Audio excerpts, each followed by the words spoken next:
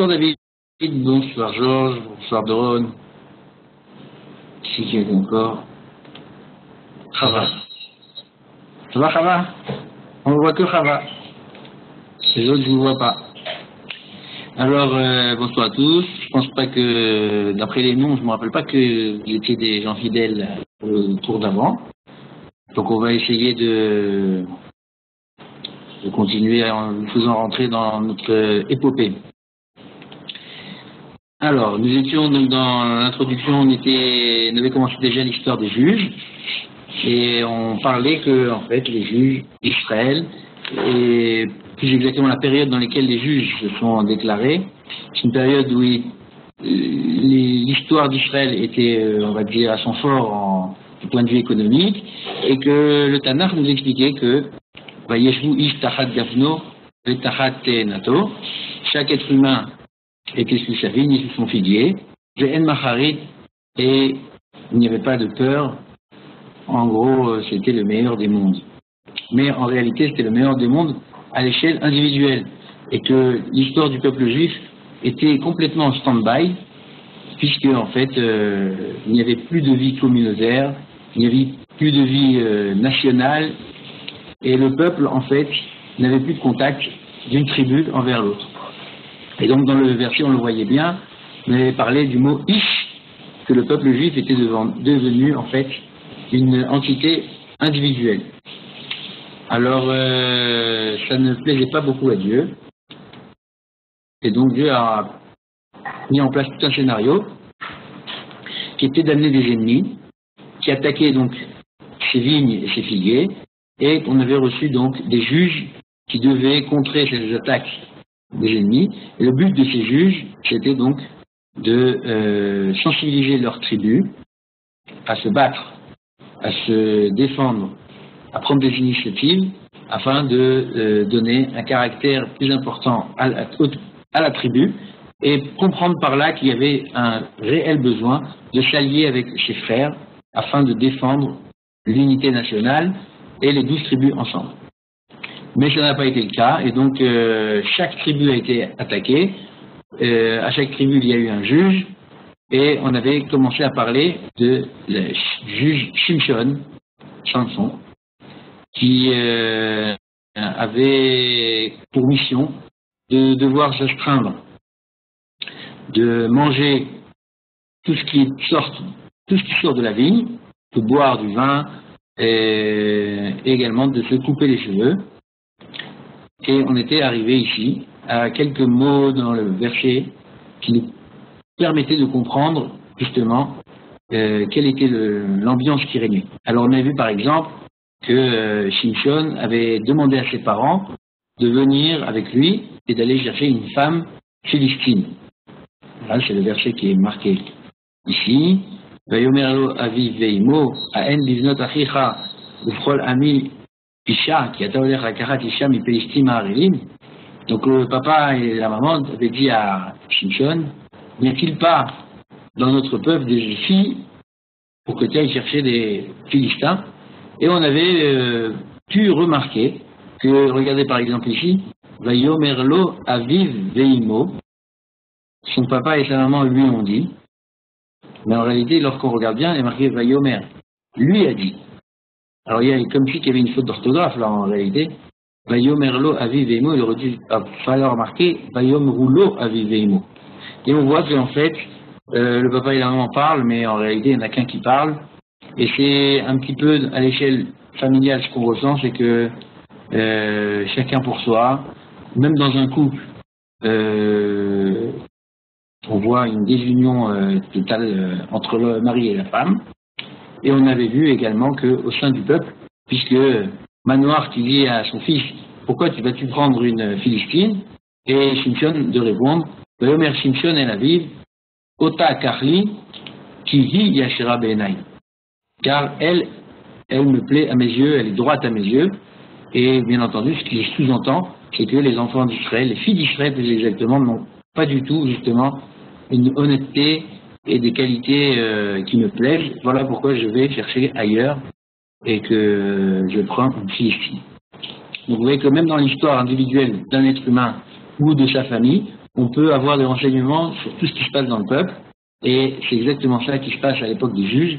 On a un sans dessous chacun pour soi, et Dieu n'est même pas pour tous. Dieu est un petit peu oublié, puisque en fait les Philistins qui arrivent vont assimiler les enfants d'Israël, et euh, les enfants d'Israël vont devenir des idolâtres. L'épisode qui suit est un épisode qui est mondialement connu, dans lequel on voit que finalement les parents de Simpson cèdent et vont réaliser le mariage de leur fils. Alors ils se rendent vers l'endroit qui s'appelle Timna. Et euh, regardez un petit peu là ce qui se passe. Va Yered Shimshon Aviv Velimo. Shimshon descend avec son père et sa mère. Donc apparemment, ils étaient dans un endroit géographique qui était élevé. Et Timna se trouve euh, dans les dans les, endroits qui sont beaucoup plus bas que là où il était. Donc Simpson était à un endroit qui s'appelle Chorash, à côté de Beth Shemesh, ceux qui connaissent, environ 300-400 mètres d'altitude au-dessus du niveau de la mer. Et ils vont à Timna, qui se trouve très très proche du bord de l'eau. Donc il y a à peu près 300 mètres. Mais on a ici un mot Vayered ce n'est pas qu'une descente géographique, on parle également d'une descente spirituelle. Et encore une fois, le terme de Vayered est au singulier alors qu'il y a trois personnes, Shimshon, son père et sa mère. Alors, Vayavohu, Adkarme Timnata, ils sont arrivés vers les vignes de Timna. Cette fois, on passe au pluriel. Donc, les trois personnages arrivent devant une vigne. Veine Kfira Rayot Shoeg Likrato. Et voilà qu'il y avait un lionceau qui rugit à son encontre. Là également, on aurait dû voir marquer Likratam à leur rencontre au pluriel. Mais lorsqu'on comprend que c'est au singulier, bien on peut dire soit que les trois personnages en fait sont vraiment chacun dans une bulle individuelle, ou c'est le commentaire de, de Mefarshim, quelques Rashi et des métiers d'actuel, qui nous dit qu'en fait, l'Ikrato, c'est Shimshon, et ses parents ne sont plus là. Et on nous explique que Shimshon, lorsqu'il est arrivé donc devant la vigne, a dû s'écarter, prendre un rallongement pour ne pas rentrer dans la vigne, ne pas être tenté, et de goûter à ces raisins, qui certainement étaient bien juteux et bien sucrés. Et donc, le scénario est le suivant, les deux parents rentrent dans la vigne, puisqu'ils ne sont pas euh, tenus de garder euh, la consommation de raisin, alors que Shimshon, lui, fait le détour, et à ce moment-là, en faisant ce détour, il y a un lionceau qui l'attaque.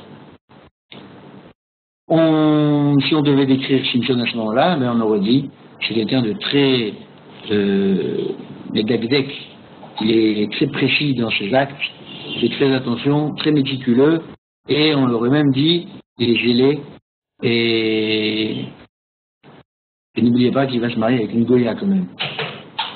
Donc il y a des, c'est la période en fait qui nous montre qu'il y a des gens qui font des sélections de mitzvot, ou tout simplement, si Simpson va se marier avec une Philistine, eh bien le verset d'avant nous le dit, Ki me Hashem i tohana ou mevakesh. Ki me Hashem i, toute cette histoire en fait, ça vient de Dieu, Tohana ou Mevakesh, car il demande un prétexte. Tout ce mariage n'est pas un mariage d'amour. Simpson cherche à s'introduire dans le camp des Philistins. Il le fait à travers une histoire romantique, mais ce qu'il veut, c'est s'introduire pour régler le problème de l'intérieur et bien entendu protéger le peuple juif de ses ennemis. Pourquoi il fait ça Pourquoi il fait ça en secret qu'il ne raconte même pas à ses parents Regardez, va vivre loyadou. Vous ne savez même pas. Eh bien, c'est parce que tout simplement, de raconter à ses parents qu'il va sauver le peuple juif, soit il l'aurait découragé, soit ils auraient, on va dire, sous-estimé sa force, ou tout simplement, eh bien parce que euh, Simpson veut protéger le peuple juif et ne pas le mêler à son plan divin. Alors, euh, on avait dit que cette histoire était bien connue, et quelques jours plus tard, Simpson revient à cet endroit, bien entendu, il va tuer le lionceau avec la force de ses mains, et quand il repassera par le même chemin quelques jours plus tard, il verra qu'il y a un échange d'abeilles à l'intérieur, euh, de ce lion, du cadavre de ce lion, et il va lui avoir une très belle idée de faire une énigme le jour de son mariage. L'énigme sera qu'est-ce qui, euh, voilà, Khudana Lachem Frida, je vais vous faire une énigme. Vayomer Lahem, Me'aochel Yatsa Mahal, de celui qui mange est sorti l'aliment, ou Me'aj Yatsa Matok, et de celui qui est fort sortira la douceur. Celui qui n'a pas vécu l'événement, il ne peut pas comprendre est, de quoi on parle. Nous sommes au courant, donc de celui qui mange du lion sort le miel, ou méage, et de ce lion qui est rugissant, Matot sortira la douceur. Il faut bien prendre ça à l'échelle nationale et comprendre que il y a des gens qui nous mangent, qui sont les Philistins, et peut-être que même si ces Philistins euh, sont rugissants, un jour ils deviendront des cadavres et ils disparaîtront. Et euh, la douceur sortira. De quelle douceur il est question? Même c'est la douceur du projet divin qui est de revenir sur sa terre, de profiter des biens matériels de la terre, mais surtout d'en donner une orientation divine et spirituelle. Alors tout ça, c'est euh, bien entendu à l'échelle individuelle, comme on l'a dit, euh, avec des symboles et avec euh, beaucoup d'explications. Donc, Simpson est le dernier juge. Toutes les tribus ont été testées et toutes les tribus arrivent à la conclusion qu'un jour ou l'autre, euh, nous reviendrons dans le projet divin qui est de s'installer sur la terre et de créer et de gérer notre pays d'après les lois que Dieu nous a ordonnées. Voilà pourquoi on va euh, ah oui, juste je voulais aussi euh, insister sur, euh, on va faire une grande parenthèse historique sur le fait qu'il y a énormément d'histoires bibliques qui vont, euh, qui sont racontées pas seulement pour nous raconter une histoire, vous le comprenez bien, mais pour nous donner euh, une sorte d'inspiration dans le futur, c'est-à-dire dans notre présent.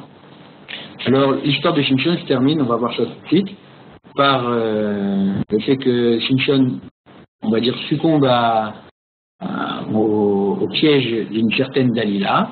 Il va lui donner le secret de sa force, qui était d'avoir des cheveux longs et de ne pas boire de vin. Et donc, euh, elle va l'enivrer et elle va lui couper ses cheveux. Elle appelle les Philistins qui l'arrêtent et qui l'enchaînent, lui crèvent les yeux. Et Simpson est placé dans un cirque un théâtre dans lequel on se moque de lui. Et euh, au dernier moment, Simpson fait une fila à Dieu. Il comprend qu'il y a énormément de monde.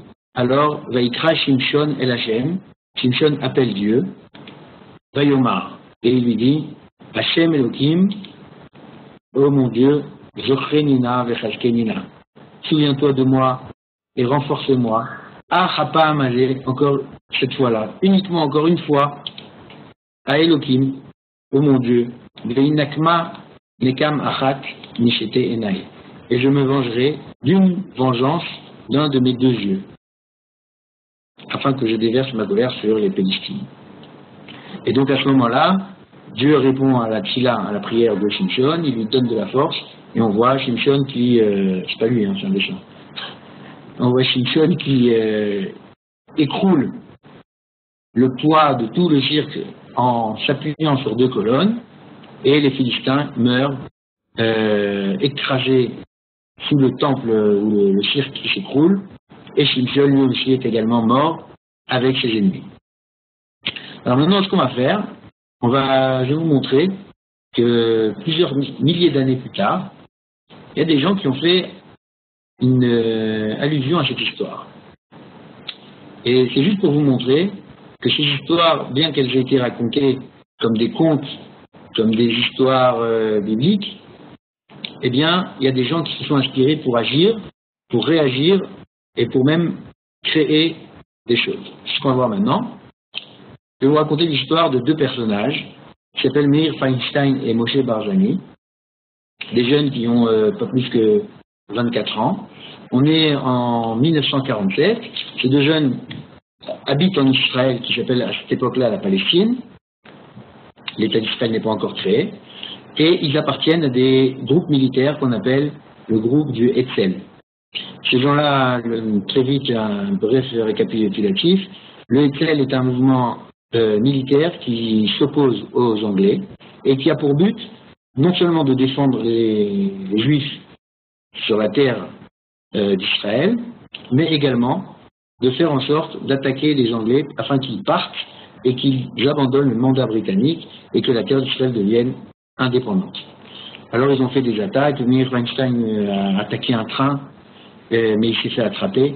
Moshe Barzani a jeté une grenade sur des brigadiers britanniques, et lui aussi s'est fait attraper, et le sort de ces gens-là, en général, quand on les attrapait, c'était de les amener dans une prison, de les juger. Alors vous pourrez visiter ces prisons-là, soit à Jérusalem, soit à Saint-Jean d'Acre, à Akko, et lors de leur procès, Meir et Moshe ont donc été jugés et condamnés à la peine de mort par pendaison. C'est très impressionnant d'écouter et de voir l'histoire de ces gens-là qui, au moment de leur procès, se mettaient à siffler des petites chansonnettes qui étaient des chants de courage et d'espoir, comme si tu voulais dire tu peux me juger britannique que tu es, mais tu n'as aucun droit de le faire car ce n'est pas ta terre. Et toute ta justice n'en est pas une, et quand le décret est tombé, ils ont montré comme si que, euh, en fait, ça ne les touchait pas. Ils se sont retournés dans leur euh, cellule. Et là, ils ont compris que c'était les derniers instants de leur vie. Alors ils ont décidé de mourir comme Shimshon. Et ils ont réussi à se procurer une grenade. Et ils ont dit, le jour de la pendaison, on fera sauter la grenade et on mourra avec nos ennemis impressionnant. Regardez, en 1947, deux jeunes qui apparemment ne sont pas religieux, mais qui ont l'histoire biblique de Shimshon dans, leurs veines et qui vont faire exactement la même chose que lui, à savoir protéger le peuple juif, se battre pour une indépendance, chasser les Philistins. Alors bien entendu, je ne vais pas maintenant comparer les Philistins à des Anglais, mais en tout cas, il y a des points qui sont euh, assez comparatifs euh, et donc ils décident de se faire sauter. Bien entendu, c'est un secret. Et au dernier moment, ils apprennent que un des rabbins va venir assister à cette cérémonie afin de leur faire réciter les dernières prières, le schéma Israël avant de mourir, et, euh, de les, leur faire faire tchouva. Et donc, euh, Meir et Moshe comprennent que s'ils font sauter la grenade, ils vont tuer également le rabbin. Et voilà pourquoi ils décident de ne pas mourir comme Shimshon, ils changent leur plan, et ils vont mourir comme Shaoul. Le roi Shaoul, a été, euh, si vous regardez dans la, Bible, dans le Tanakh, vous verrez que le roi Shaoul s'est suicidé en se jetant sur son épée, lui aussi en combattant les Philistines. Euh, et donc, euh, il décide donc de se faire sauter ensemble, enlacés, dans leur cellule et en faisant sauter leurs grenades, tout simplement pour sauver la vie du rabbin. Ces deux personnages ont été enterrés au Mont des Oliviers. Donc on, voit ici leur tombe. Et au moment où ils ont été enterrés au Mont des Oliviers, il y a un homme qui était avec eux dans le groupe militaire qui a décidé donc de dire si eux ont été enterrés ici, eh bien mon rêve ça sera d'être enterré à côté d'eux. Cet homme est devenu Menachem Begin, qui est devenu un des premiers ministres de l'État d'Israël, et c'est pour ça que Menachem Begin est enterré sur le mont des Oliviers, proche de ses compagnons. Et ça, c'est pour vous montrer comment euh, des histoires bibliques, puisque cette déclaration a été faite, nous allons mourir comme Shimshon, et, et comment ces hommes sont marqués dans le texte ont influencé des juifs plusieurs milliers d'années après. Alors, nous avons une remarque de ceux qui étaient interdits au fait, Shaoul comme à Masada. Ouais, alors, le, suicide est bien entendu euh, interdit, et euh, Shaoul Bon, Masada, on n'a pas beaucoup de preuves pourquoi ils, ont permis de, sont permis de se suicider, bien que il s'est expliqué dans un discours qui est répertorié dans Flavius Joseph. Euh, mais en ce qui concerne Shaoul, Shaoul a dit que il a demandé au, départ à son écuyer de le tuer. Celui-là a refusé. Et donc Shaoul s'est jeté sur son épée. Et pour lui, dans sa tête, il fallait absolument que son corps ne tombe pas entre les mains des Philistins, car il l'aurait euh, avant de le tuer en tout cas, fait souffrir d'énormes euh, souffrances. Et ce pas les souffrances ou les douleurs qui lui ont fait peur à Shaoul, mais c'est le blasphème que ça aurait été pour être le Meshiach de Dieu, pour celui qui a été loin par Dieu, d'avoir toutes ces souffrances. Et donc Shaoul a préféré se tuer, comme si il voulait montrer un échec aux Philistins. C'est exactement la même chose un petit peu à Masada. Euh, à Masada, les gens se sont suicidés pour ne pas tomber entre les mains des Romains qui, en auraient fait des esclaves ou qui les auraient euh, asservis ou euh, rendus à faire des douleurs atroces. Benjamin, j'ai pas très bien compris le Noël Hannibal. Noël Hannibal, en général à l'armée, si je me rappelle bien, c'est quand, quand on, en capture quelqu'un. Et le rapport, je ne vois pas, donc si tu veux prendre le, micro et nous expliquer, avec grand plaisir. Une, remarque par rapport à Masada, euh, le Rav Goren explique un mamar entier où il explique là-bas justement que c'était permis et que c'était pas, euh, ça rentrait pas dans le, la définition de, de l'interdit de, se, de, comment on de se suicider. Donc si ça vous intéresse, je peux vous envoyer, c'est un mamar en hébreu où le Rav Goren explique tout ça pour montrer qu'à Masada, d'après lui, c'était permis et ce n'était pas un suicide qui était interdit selon la Torah. Ah, ok, alors euh, puisque tu parles du Rav Goren, eh ben, on va y venir. Et regardez encore une fois comment l'histoire se répercute euh, dans des passages euh, historiques que peut-être certains d'entre vous, je ne connais pas vos âges, mais peut-être certains d'entre vous ont vécu. Alors, voilà, donc ce fameux Rav Goren, qui, euh, en 1967, cette fois, il y a l'État d'Israël qui est créé, c'est le lendemain de la fameuse guerre des six jours, et le Rav Goren, donc, qui est cet homme que vous voyez, qui a pour poste et pour responsabilité d'être le rabbin aumônier de l'armée, euh, prend part lui aussi à la guerre des six jours et se déplace avec un Sefer Torah et un chauffard sur les traces de l'armée. Et pendant les six jours de la guerre, il est là à encourager les soldats, à leur remonter le moral, à faire des prières aussi pour les soldats qui sont décédés, les enterrer, mais également à, euh, on va dire, sanctifier les conquêtes de, territoriales, en tout cas, de la guerre des civils. Alors, on le voit ici au Cotel, avec les fameux parachutistes qui sonnent chauffard et il a un Sefer Torah. On en reviendra tout à l'heure sur le Sefer Torah. Et là, on le voit à Hebron, c'est lui qui est ici. Il place un drapeau d'Israël sur la mer Marpella. Voilà, vous le voyez ici. Drapeau d'Israël qui, pour la petite histoire, n'est pas très joli, tout simplement parce qu'il n'en avait pas. Alors il a pris un morceau de tissu, il a mis de l'huile de moteur et il en a fait un drapeau. Au moment de... Donc c'était le dernier... Crévron était le cinquième jour de la guerre. Le sixième jour, c'était Jérusalem. Et au moment où euh, les parachutistes arrivent au Kotel, il avait donné un ordre qu'il fallait absolument qu'il soit présent lorsque les parachutistes arrivent au Kotel. Et bien entendu, Motagour, qui était euh, le chef euh, de l'unité des parachutistes, appelle le Rav Goren pour lui dire voilà, sache, on va rentrer dans la vieille ville. Alors tu peux venir, hein, où tu es, je ne sais pas où tu es. Impossible de le joindre. Le Rav Goren se retrouve à Gaza. Qu'est-ce que tu fais à Gaza? Faut que tu viennes. Et le Rav Goren explique à Motagour tu ne bouges pas tant que je ne suis pas arrivé. Donc Gaza, Jérusalem, ben, ça prend une heure et demie. Euh, donc il y a deux heures de temps là. On est en Jeep. Et j'aimerais vous montrer où se trouve Gaza et où se trouve Jérusalem. Dans la carte là, je crois. Hein. Non, pas la carte. Voilà.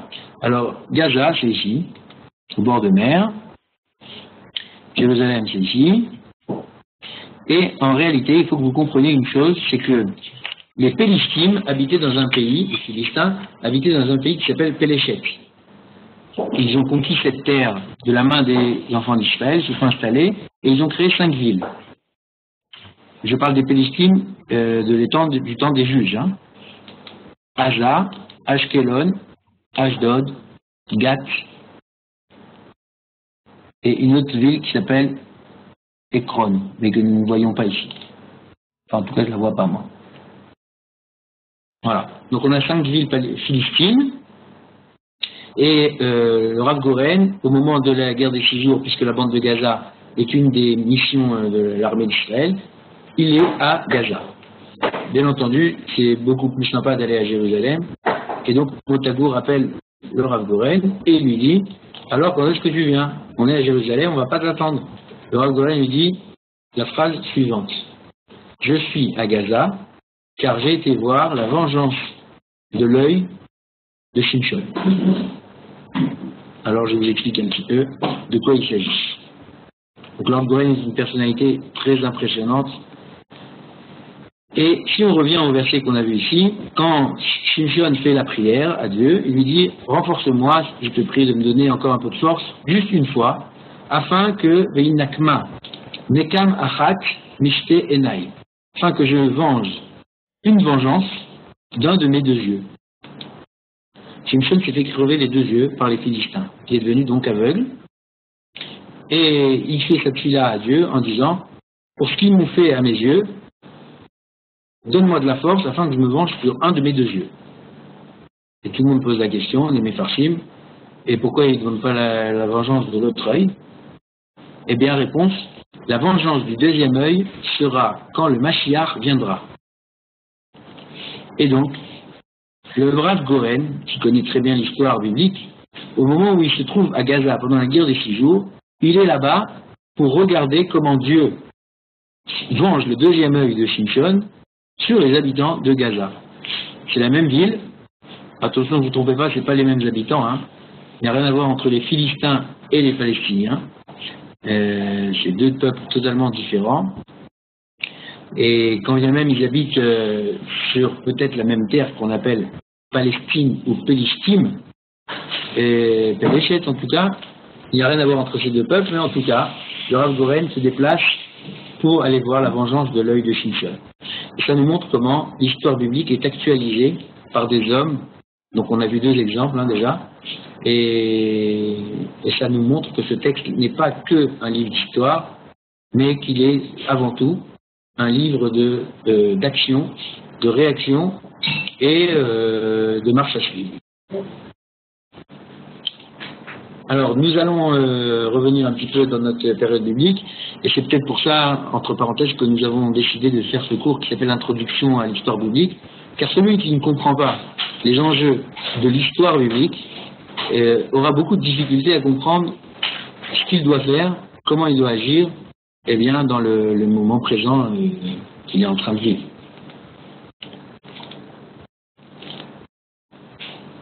Ok.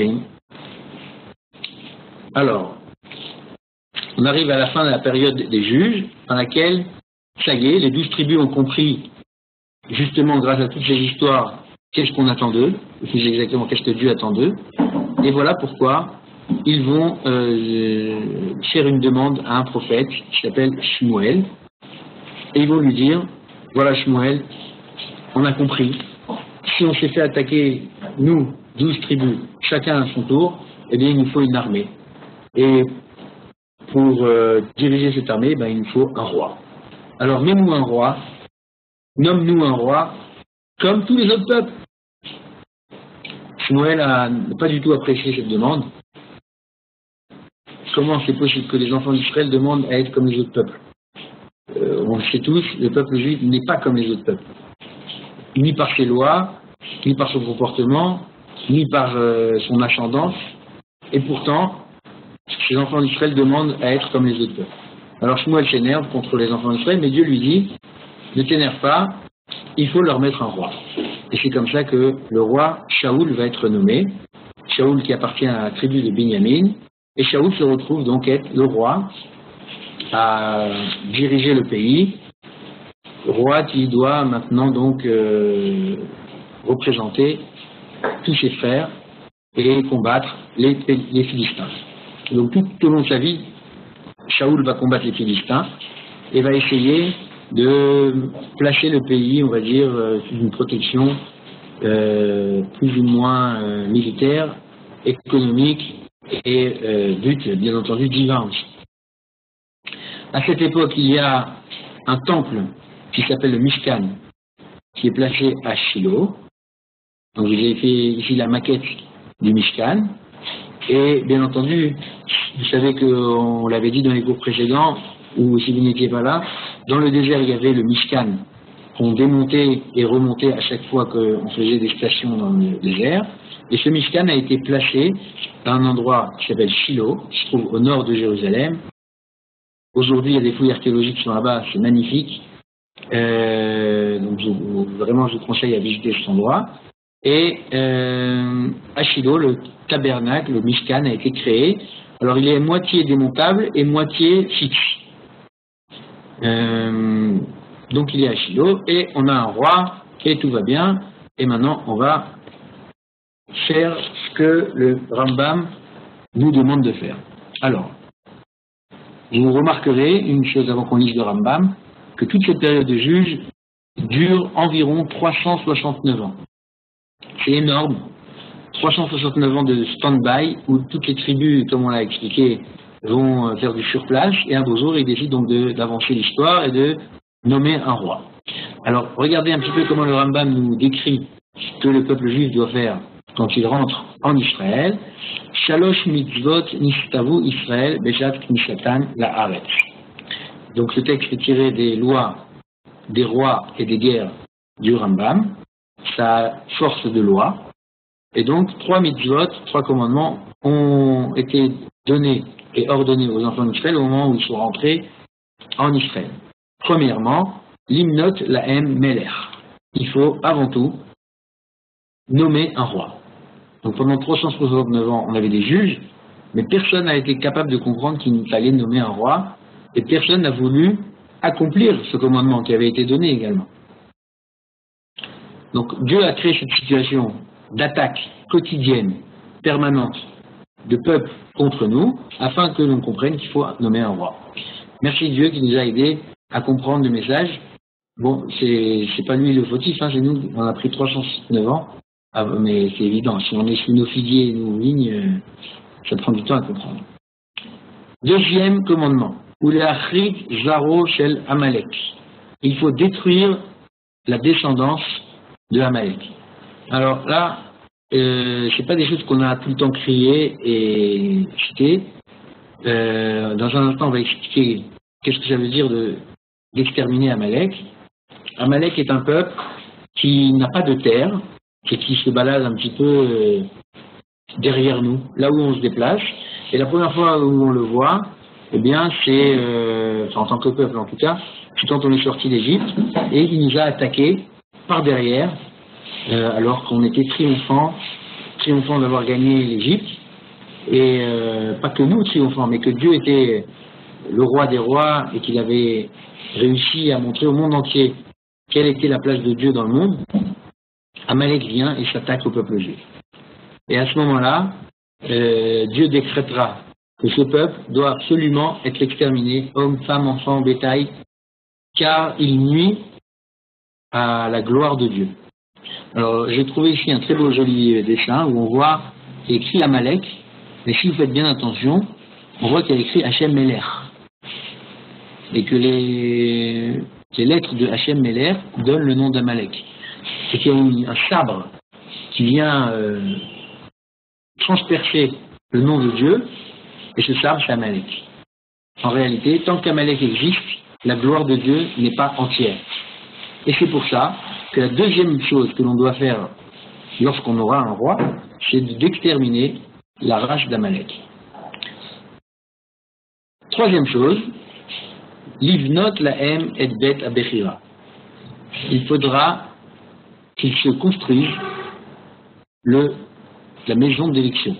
On appelle la maison d'élection, c'est le temps.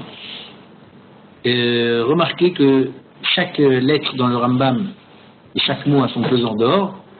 J'aurais peut-être voulu qu'il y ait marqué autre chose.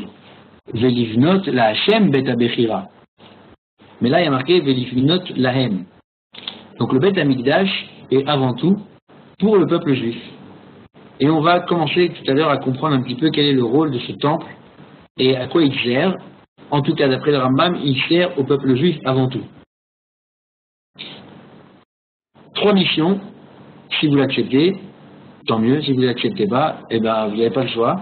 Et donc euh, les, juges n'ont pas eu le choix, et les distribus non plus, on en est arrivé à ce qu'ils comprennent de eux-mêmes qu'ils doivent nommer un roi. Le roi Shaoul portera la couronne, il est nommé par Dieu, par le peuple juif, et il accepte sa mission. Et donc la deuxième mission commence, à aller tuer Amalek. Manque de chance, attends, ça c'est trop tôt encore, c'est pas encore le moment. Manque de chance, qu'est-ce qui va se passer au moment où euh, Shaoul sort dans la mission numéro 2 d'aller tuer Amalek? Eh bien, il va avoir pitié des animaux, des femmes, des enfants, et il va même épargner le roi d'Amalek, qui s'appelle le roi Agag, tout simplement parce que pour lui c'est une grande victoire d'attraper le roi d'Amalek et de le ramener au campement des enfants d'Israël et de dire, de s'enorgueillir de l'avoir attrapé. Et puis, euh, bien entendu, c'est peut-être aussi du gâchis de tuer tous ces animaux. Donc on va les prendre. Et au moment où il revient de guerre, le prophète Shmuel, qui voit tous ces gens-là et toutes ces tribus et tout cet attroupement de, de troupeaux, demande à Shaoul, mais qui c'est ces gens-là? Qu'est-ce que tu fais?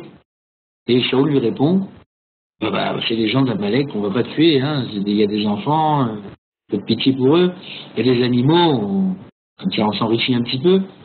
Et Shmuel lui dit, tu as fait une grave erreur, si tu as ramené ça, eh bien tu n'es pas apte à gouverner le peuple juif, et donc tu perds la royauté à ce moment-là. comment reconnaître Amalek de nos jours? Ah, quelle bonne question. Le problème qu'on a avec ce Amalek, eh bien, c'est que c'est un peuple qui n'est pas, euh, on va dire, implanté dans une terre précise, et à chaque fois qu'on le retrouve, en tout cas dans les histoires bibliques, il vient à un moment où on a une faiblesse. Et les Chachamim nous disent donc que la présence d'Amalek est comme si que c'était un machal, une parabole que je vais vous raconter maintenant. Un jour, il y a un monsieur qui, euh, qui a un bâton et qui décide d'exciter un chien. Et il le frappe. Et le chien va tout simplement s'énerver, s'exciter, et va se débattre. Et à un moment donné, il va sauter sur le bateau. Et il va vouloir, bien entendu, détruire ce bâton. Et ça, c'est la parabole d'Amalek en réalité, le propriétaire du bâton, c'est Dieu. Dieu nous envoie une plaie qui s'appelle Amalek. Et nous, le petit chien que nous sommes, ce chien, s'il avait bien compris, il serait revenu vers le maître qui tient le bâton, pas vers le bâton lui-même. Alors c'est un message que Dieu nous envoie. Amalek est toujours sur notre trace et toujours par derrière, car il attaque quand le peuple juif est faible. Et c'est une sorte de thermomètre en fait, avec la proximité qu'on a avec Dieu. Comment on peut aujourd'hui le reconnaître? Eh bien, à vous de voir. Euh, moi, je ne sais pas exactement comment on peut le reconnaître, mais en tout cas, euh, toutes les personnes qui viennent nous attaquer, on se doit de poser la question est-ce que ce sont des bâtons qui nous frappent, ou est-ce que c'est quelqu'un qui tient un bâton pour qu'on comprenne quelque chose? Et si la réponse est que effectivement on a quelque chose à se reprocher, bien, je pense qu'on pourra décrire que celui qui nous attaque n'est rien d'autre qu'Amalek. Aman était également un descendant d'Amalek, mais pour l'instant, on n'est pas à la Megillat Esther, donc on aura l'occasion peut-être d'en reparler. Alors, nous étions donc dans les trois commandements, et Shaoul qui a échoué et qui perd donc sa qualité euh, de roi, et alors qu'on était euh, sur une bonne piste, mais maintenant euh, on revient un petit peu en arrière, il nous faut trouver un bon roi. Alors les, textes nous montrent qu'il y a un petit épisode qui va se passer maintenant, c'est que les Philistins décident d'attaquer Shaoul. Shaoul va rentrer dans une euh, dépression énorme. Il sait qu'à chaque moment il peut perdre la royauté et il se fait attaquer par un géant qui s'appelle Goliath. Toute l'armée d'Israël se fait attaquer par les Philistins. À leur tête, un géant qui s'appelle Goliath, et Goliath les défie afin de se battre avec eux. Euh, personne n'ose affronter ce géant qui euh, fait plus que 3 mètres et quelques. Et donc, euh, pendant plus de 40 jours, Goliath attaque les enfants d'Israël et les invite à venir se battre. Il va falloir attendre qu'un petit garçon gringalé qui s'appelle David arrive alors qu'il n'était même pas dans le campement des militaires. Et David, comme vous le savez, va se battre contre Goliath pour protéger l'armée de Shaoul. Il va se munir d'une fronde et d'une pierre qu'il va jeter et qui va atterrir dans le front de Goliath. Ce moment-là, Goliath meurt, tombe à terre et David lui coupe la tête.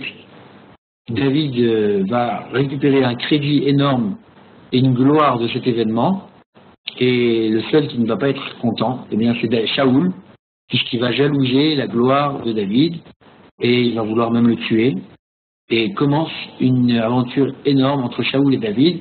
David va devoir s'évader, se cacher, alors que Shaoul, lui, euh, n'a qu'un seul but, c'est de tuer cet euh, énergumène qui peut-être risque de prendre sa place. En attendant, euh, le peuple adore David, mais il perd un petit peu sa trace puisqu'il se cache, comme je vous l'ai dit.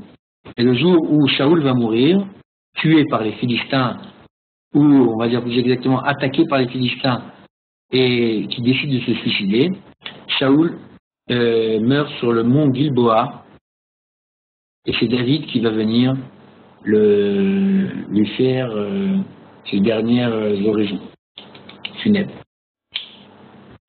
Donc David devient le roi à la demande du peuple juif, et il décide, après quelques années où il était à Hebron, il décide de s'installer à Yerushalayim. Yerushalayim est une montagne, à l'époque, qui, je vais vous la délimiter maintenant. Voilà, je fais le tour de Yerushalayim. C'est très très petit. J'imagine et j'espère que vous avez tous euh, un jour mis les pieds sur la petite montagne qui est là. En tout cas, si un jour vous êtes venu au Cotel, vous étiez là. Le sommet de cette montagne s'appelle le mont Moria, et c'est à cette montagne, sur cette montagne, que va être créé le Beth Amikdash, euh, donc endroit qui va remplacer le Mishkan et qui va devenir le temple fixe. Et à partir de ce moment-là, il n'y aura plus jamais d'autre temple que ici sur le mont Moria.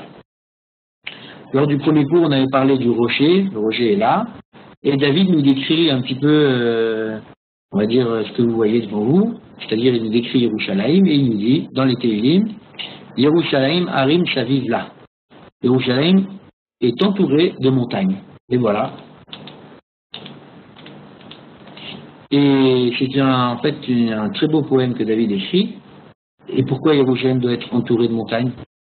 Ben, Tout simplement parce que Vachem Shaviv les hameaux, car de la même façon Dieu entoure son peuple, mais Ata Beadolam. Et en fait, on a ici, vous pouvez le voir, le mont Moria qui n'est pas la plus haute montagne de Jérusalem, mais qui est entouré d'autres montagnes. Alors si je vous ai décrit, là vous avez le mont des Oliviers. Donc aujourd'hui tout ça c'est un cimetière juif.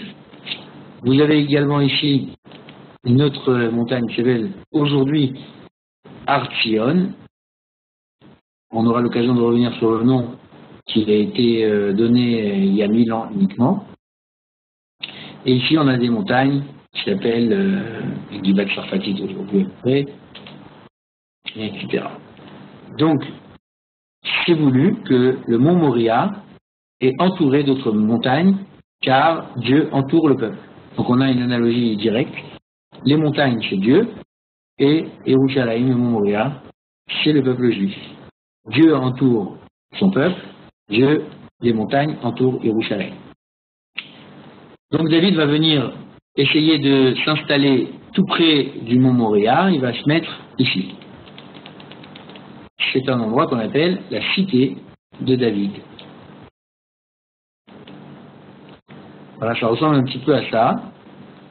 Donc vous voyez ici la cité de David, et au sommet de la cité de David, ici, le mont Moria. C'est voulu que la topographie de Jérusalem soit choisie par Dieu pour comprendre une chose. C'est que là, c'est le point le plus élevé du mont Moria. Donc ce sera la place du Melech Malchea Melachim, du roi des rois. Ensuite, nous avons la place ici du roi. le Meller. Et ensuite, nous avons la place du peuple qui va être euh, en dessous du roi. Et ainsi, tout le peuple juif pourra comprendre qu'est-ce que Dieu attend de lui. C'est de reconnaître l'existence et la suprématie de Dieu, qui se trouve au-dessus du roi, qui lui-même est au-dessus du peuple. Ok, donc euh, nous avons la cité de David. David s'installe à l'intérieur, et maintenant que David est installé, et qu'il a, à son tour, en tout cas, éliminé toute personne qui était contraire, c'est-à-dire les sept peuples, plus euh, Amalek, David va vouloir construire le temple. Malheureusement, Dieu lui fait une déclaration et lui dit qu'il n'est pas apte à construire le temple car il a versé beaucoup de sang. Effectivement, s'il a effacé euh, plusieurs peuples, euh, il y a énormément de sang sur ses doigts et sur ses mains. Et comme vous pouvez le comprendre, le temple qui est censé amener la vie ne peut pas être construit par quelqu'un qui a ôté la vie à plusieurs autres personnes. Et donc, bien que ça nous paraît être une punition, en tout cas à ce stade-là, ça ne va pas en être une, mais c'est juste une incompatibilité. De la même façon que Shaoul n'a pas été puni, il a été juste rendu inapte à être roi, eh bien David est inapte à construire le temple. Et c'est son fils Shlomo qui va donc le faire. Shlomo qui porte un nom euh, merveilleux, en tout cas si on regarde les lettres. Shlomo vient de la racine de Shalom, vient de la racine de Shlemut. Shalom, c'est la paix, alors que David était un homme de guerre. Shlemut, c'est l'intégralité, être intègre. Shalem, et c'est aussi Yerushalayim. Et donc Shlomo va être euh, celui qui va construire le temple. Il va le faire d'après les plans de son père. Il va les faire à l'endroit que son père a acheté. Et lorsqu'il va inaugurer le temple, eh bien, le temple ne... aura un problème technique. Les portes du temple ne vont pas s'ouvrir. Elles, elles resteront bloquées. Et c'est que au moment de l'inauguration, donc que Shlomo va faire une déclaration et qu'il va faire une prière. Et il va dire à Dieu, Al tachef ne me renvoie pas comme ça de devant toi. En gros, laisse-moi rentrer. Ba'avour David Avdecha. Par le mérite de David, ton serviteur, ouvre-moi la porte. Et la porte s'ouvre. Et tout le monde comprend à ce moment-là que donc le temple est accessible par le mérite de David. Et que ce n'est pas parce que David n'a pas pu construire le temple qu'il a été puni. Mais bien au contraire, on trouvera dans le texte que le temple ne s'appelle pas le temple de Shlomo, mais qu'il s'appelle le temple de David. Bet David. Malchut Bet David, etc. Donc Shlomo va quand même avoir beaucoup de gloire, il va construire le temple qui aura plus ou moins cette... Pardon, pardon, pardon. C'est un autre temple, c'est le deuxième là. Voilà. Qui aura plus ou moins cette apparence que vous voyez ici, d'après les textes qui sont marqués donc dans le livre des rois. Euh, donc on est, passé maintenant dans le livre des rois, hein, depuis euh, l'époque de David et de Shlomo. On, est dans le livre des rois. Et euh, Shlomo construit le Beth Amikdash d'après des plans bien détaillés qu'il a reçus de Shmuel et de David. Et à la fin, lorsque vous lisez ce plan, eh bien ça donne à peu près cette image que vous voyez. On peut reconnaître les fenêtres qui sont marquées dans le texte. Il y avait des fenêtres qui euh, permettaient de faire sortir la lumière de l'intérieur du temple vers l'extérieur. On peut reconnaître les deux poteaux qui sont à l'entrée du temple, qu'on appelle les colonnes de Yachin et de Boaz. On peut reconnaître ici le Mishbeach, l'autel. On peut reconnaître euh, le Kior, qui est un bassin soutenu par des veaux, plus exactement des bœufs. Euh, il y en avait un chiffre de 12, c'était un très grand bassin. Et lorsqu'on rentre à l'intérieur du bâtiment que vous voyez ici, accès bien entendu permis uniquement aux Kohanim, euh, vous, vous, auriez vu, si vous étiez Kohen en tout cas, 11 ménorotes, 11 chandeliers et 11 tables qui proposent les pains qui sont la ration en fait des Kohanim qui se partagent à la fin de la semaine. Donc au temple de Salomon, qu'on appelle le premier temple, il y a dans cette salle qu'on appelle le Kodesh, le Saint, 11 ménorotes et 11 tables Bien entendu, tout est en or. Imaginez un petit peu la richesse de ce temple. Euh, C'était quelque chose de phénoménal. Voilà, vous avez ici un autre euh, dessin qui vous montre Yachin et Boaz et qui vous montre la construction en pierre du premier temple.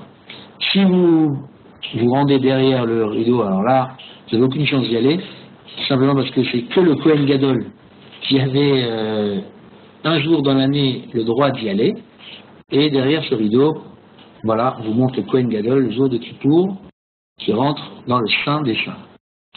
Et là-bas, il y avait donc l'arche d'alliance, la loi, la boîte qui contient la loi de Dieu, avec deux grandes statues énormes qu'on appelle des chérubins, qui étaient de part et d'autre de l'arche d'alliance. Et le Cohen rentrait faire ce qu'on appelle de l'enchantre, une odeur très agréable, faite avec des parfums. Voilà, alors lorsqu'on arrive à cette époque de Shlomo, eh bien, on peut dire que euh, c'est l'apogée du peuple juif, c'est le but est atteint, mission accomplie. Euh, c'est peut-être maintenant la chose la plus difficile à faire, c'est de rester à ce niveau-là et de faire attention de ne pas dégringoler de la montagne, de ne pas se retrouver en bas de la montagne et de continuer plus exactement à pratiquer cette loi qui est posée sur le point d'origine du monde. Et en fait, à l'époque de Shlomo, l'origine et le but étaient de pair et tout allait bien. Jusqu'au jour où, euh, malheureusement, ça va mal. Alors, je pense qu'on va s'arrêter là, et, euh, sur une bonne touche en tout cas.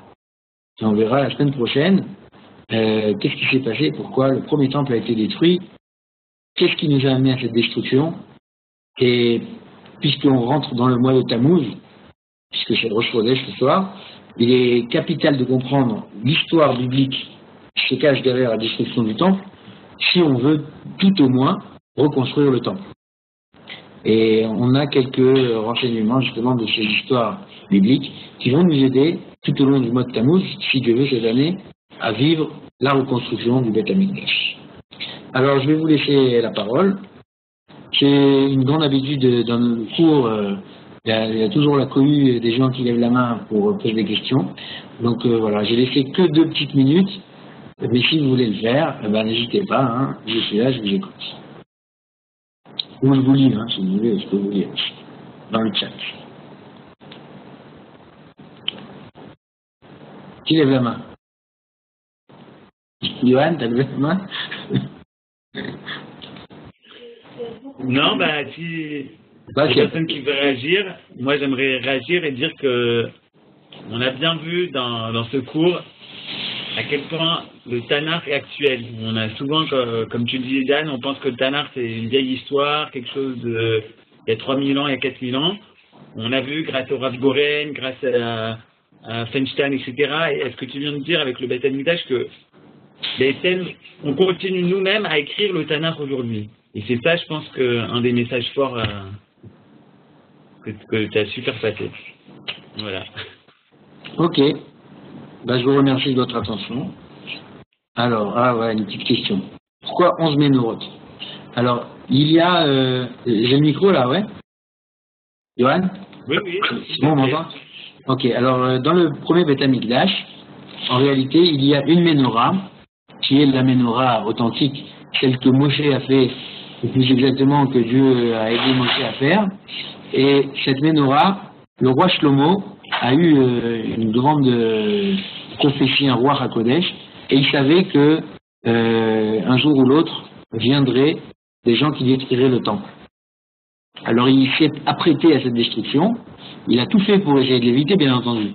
Et une des choses qu'il a fait, bah, c'est par exemple de créer des sous-sols souterrains sous le temple. Et également, il a fait des copies de la menorah, puisque si un jour quelqu'un viendrait, eh bien qu'ils n'ont qu'à voler une copie et que l'original reste entre nos mains.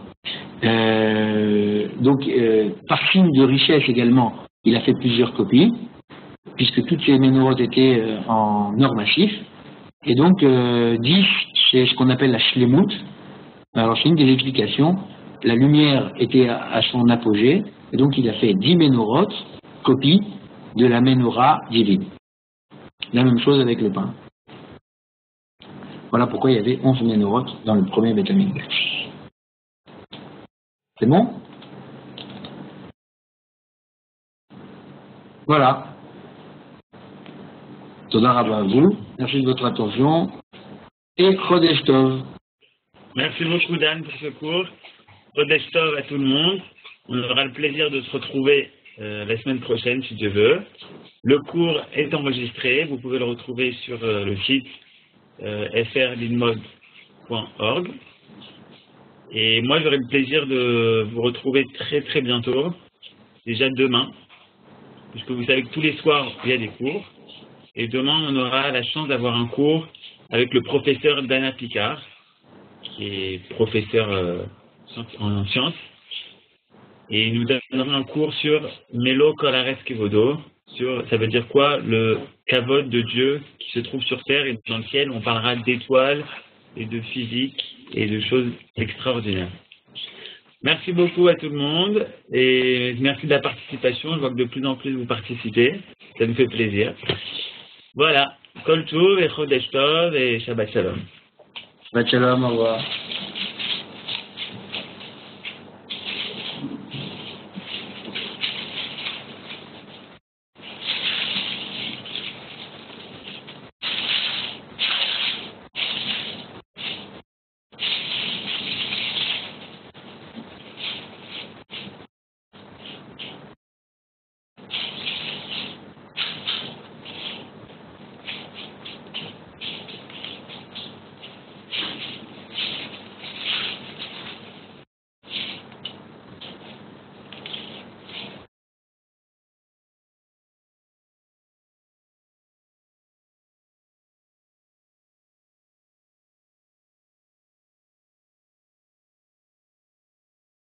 להבין. ברגע שאתה יושב ועושה שיעורי בית ולומד את זה לפני כן וחושב על איזה נקודות היית רוצה לעלות, איזה שאלות מנחות אתה רוצה לשאול, אז כאילו כן, יהיה לזה אלמנט יותר של לימוד מאשר של שני אנשים שמתמודדים ביחד עם טקסט, אבל אני כן חושבת שזה, כאילו לפחות מה ששמעתי על הרמה הדתית גרמניה, אני כן מאמינה שזה משהו שאני אוכל להתמודד איתו מבחינת הללמד. אוקיי. Okay. את צריך לקחת בחשבון ש... שלומדים אה, עם אנשים שהם אה, ברמה דתית נמוכה, או אפילו שאין להם רקע בכלל בלימוד, אה, זה לא אומר שהלימוד הוא, הוא צריך להיות ברמה נמוכה. זאת אומרת, זה לא כמו ללמד ילדים קטנים שעוד לא למדו כלום, כי מבחינה אינטלקטואלית הם ברמה גבוהה, לפעמים גבוהה מאוד, כלומר, בעיקר עובדים סטודנטים, ומצפים, הם, הם כל היום לומדים דברים ברמה גבוהה, בעולם אה, מקצועות החול, אה, ומחפשים דברים שמאתגרים אותם. וזה דבר שהוא צריך לדעת לעשות אותו, לקחת משהו אה, של, שלא דורש ידע מוקדם, אבל ללמד אותו ברמה עמוקה וטובה. כלומר, גם אם, אם עוברים בפעם הראשונה, לפעמים זה דווקא מאוד